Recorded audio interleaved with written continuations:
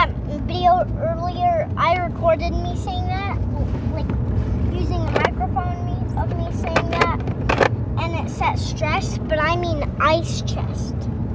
So, yeah.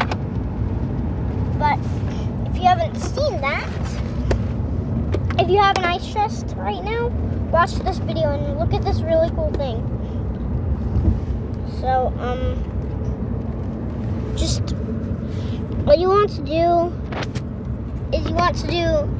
I want, I want you to look at this, and then I want you to make it go up, go down, but hold, but but but, make your hand slide to this swingy thing, and this is all you have to do.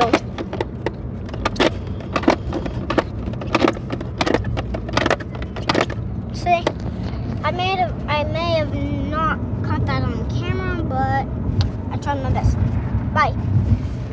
And if it works, leave it in the comments. Again,